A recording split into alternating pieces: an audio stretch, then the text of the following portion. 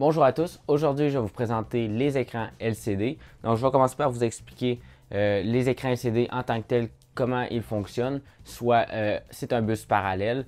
Donc je vais vous expliquer qu'on peut les faire fonctionner en 4 bits ou en 8 bits.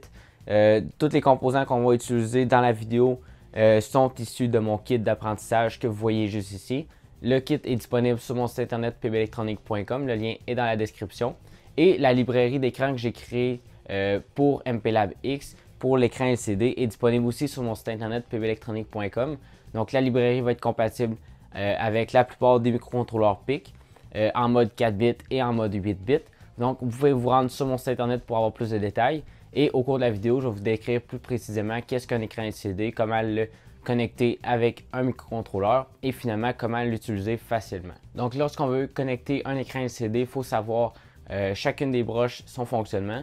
Donc, euh, pour commencer, il va y avoir l'alimentation, soit l'alimentation 5 volts et 0 volts pour le VSS. Ensuite, on va avoir VEE e la plupart du temps ou V0 qui correspond à une tension analogique qu'il faut entrer dans l'écran LCD. Cette tension-là va en fait définir le niveau de contraste de notre écran. Donc la plupart du temps, on va mettre un potentiomètre variable euh, de 10 kΩ entre le 0 et le 5 volts pour pouvoir envoyer une tension analogique à l'écran LCD. Ainsi, en tournant le potentiomètre, on va pouvoir avoir un contraste plus ou moins élevé, donc on va pouvoir l'ajuster manuellement.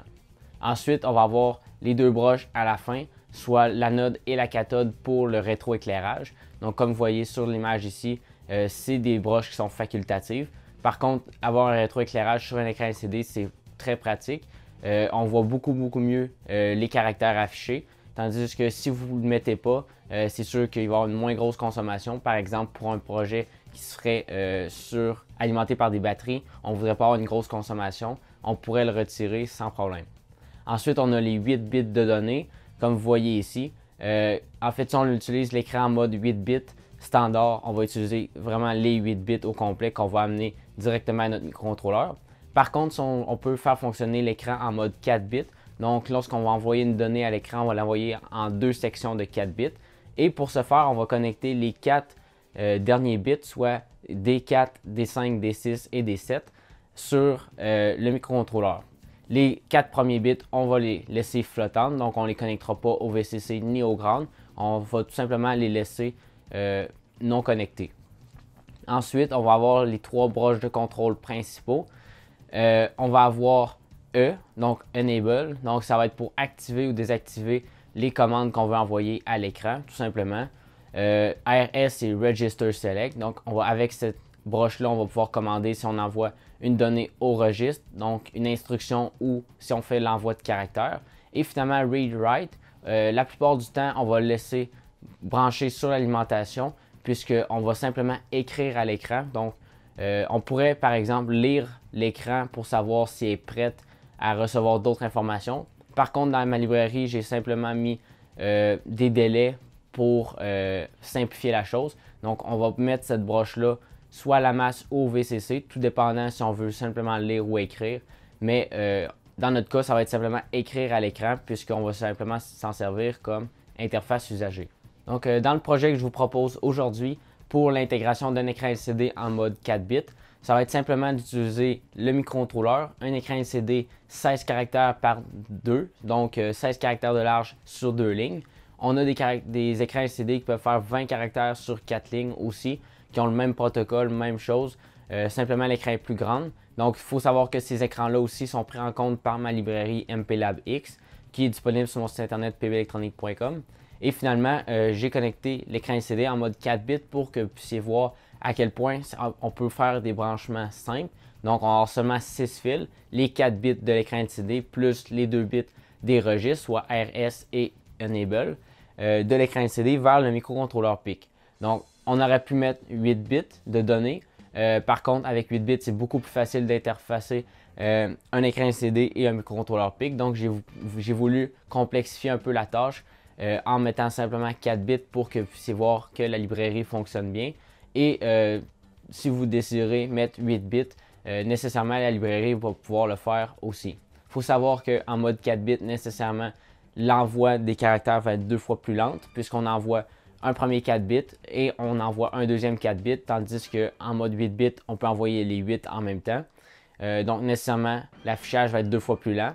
Par contre, simplement afficher du texte ou des données de température, d'humidité, euh, des boutons, des valeurs analogiques, de potentiomètre, le mode 4 bits fonctionne très bien. On n'a pas besoin d'une instantanéité euh, parfaite. De toute façon, l'écran en tant que tel a un temps de réponse qui est quand même lent, contrairement au microcontrôleur. Donc, nécessairement en mode 4 bits, ça fait très bien l'affaire aussi.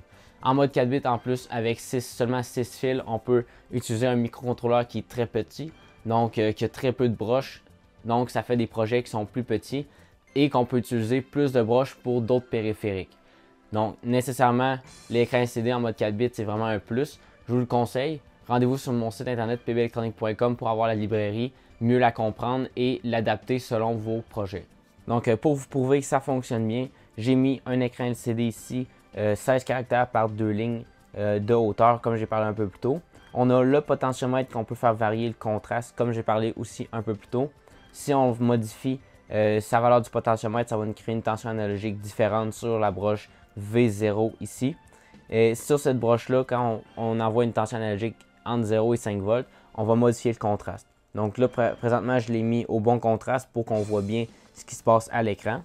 Euh, vous avez euh, la broche RW, donc read-write que j'ai parlé un peu plus tôt, qui est mis directement au grand, donc à la masse.